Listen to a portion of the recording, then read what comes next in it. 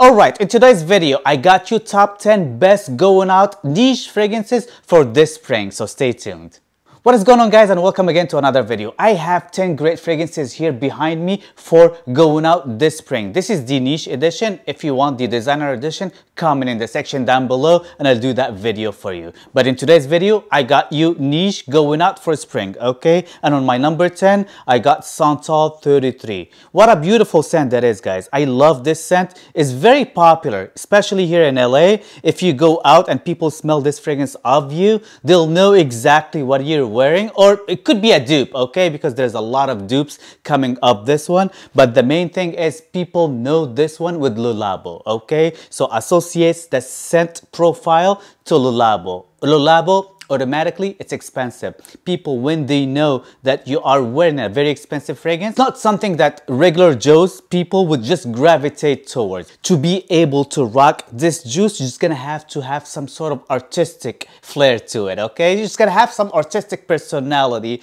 or you're just gonna be somewhat artistic, okay? If you're into your Acqua di Gios, that's not gonna be for you either. But if you wear this one going out at night, trust me, would get you attention. My number nine on my list, I probably the only person that ever reviewed this fragrance probably like 10 years ago okay i've been having this bottle for the longest time cosmic oud by uh, what marc de la marondière this is like a Belge brand from Belgium. So if you are in Belgium, you can get this one easily from their boutique or like in Europe. But it's really hard to come by here in the US, okay? You have to purchase from Europe.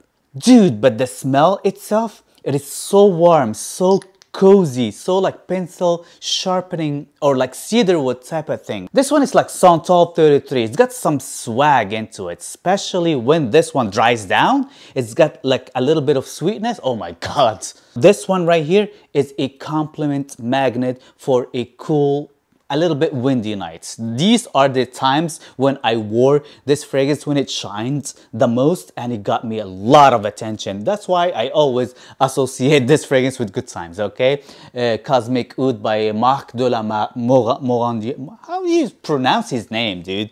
Morandier. I'm just gonna leave links. Marc de la Morandière. Yeah, that's the name. Another fantastic mass appealing fragrance that would get you a lot of attention this spring nights if you were going out is uh, L'Immensité by Louis Vuitton. This is uh, my um, decant that I need to upgrade into a bottle and I just love this juice guys okay this is a fantastic juice if you're into sauvage smelling type of fragrances but you just want something niche smelling get this one this is all I am going to say and the rest is on you buddy yeah. Another fantastic one to wear this spring nights and I'm talking about this gold bottle that I have which is Soleil de Jeddah by 777 Stéphane Humbert Lucas. What a beautiful, gorgeous fragrance that is guys. It's got way too many things combined. It's got the floral coming from the carnation and I forget something else as well. It's got the leather. It's big on the leather. So I hate carnation in fragrances, but the carnation note in this fragrance works perfectly. It reminds me a little bit from the top notes of Wiley Lexer, okay? Because just that carnation, this old schoolish uh, fougere type of thing, this one also has it a little bit because of the carnation, but this one is totally taking a different route, okay? This one is more leathery, more sweet, and it's in your face and it gets compliments. This one gets compliments, dude, okay? If you just want attention, get Soleil de Jeddah by Steph 7777 Stéphane Humbert Lucas. Get this one. Another great floral rosy scent for this spring nights, it's a base mode, okay? So it's gonna have to be a little easy with the sprays just because of how strong this fragrance is and I'm talking to you about Oud Silk Mood by MFK. I love this scent guys, okay? This is like rose oud with papyrus and the papyrus what makes this fragrance different, okay, than any other rose oud out there. The papyrus note here is huge. It gives out this airy earthy green vibe that is to die for honestly. Papyrus it's a great note in fragrances guys. Oh my god. I love the papyrus note here. It's, it's, it's fantastic. It is fantastic. You need to try this one out just because of the papyrus note. And did i say this is one of the most regal rose oud combos like ever? And it will get you attention? Yes this one will. This one will get you attention. Let's get another rose oud combo out of the equation in this top 10 just because I love this one. This is a must if you haven't tried this one out yet. If you don't like rose oud combos and fragrances, you gotta just give this one a try. This one is not overly too, too rosy, unlike uh, MFK, uh, the one that I just showed you. Totally forgot the name. Anyway, this one, Criminal of Love by Kilian. It's the best, the best rose oud combos for people that not into rose or oud a lot, okay? This one is fantastic. It's got a lot of tobacco combined with the rose and oud as well, but it doesn't come across very oudy nor rosy. It's just the perfect combination, okay? And this one, oh my God. This one, I just like, I go anywhere. Tellers, I go to CVS, just get my meds or whatever. I just go anywhere. I get compliments. Wearing this one right here. This one got me a lot of compliments back in the day. Criminal of Love by Kilian was once was a Russian exclusive. I think you can just get it anywhere now. Get it while you can. Or just at least try it out while you can.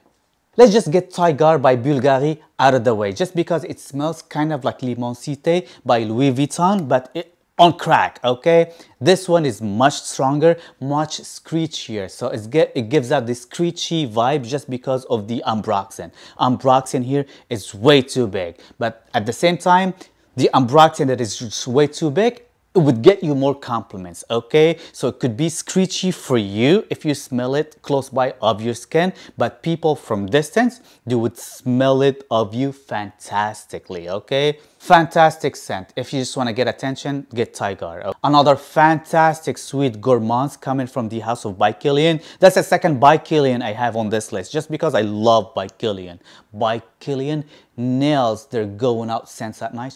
They're just perfect okay and the next one I have here, it's Love by Kilian, Don't Be Shy. Love Don't Be Shy by Kilian. What a beautiful scent that is, guys.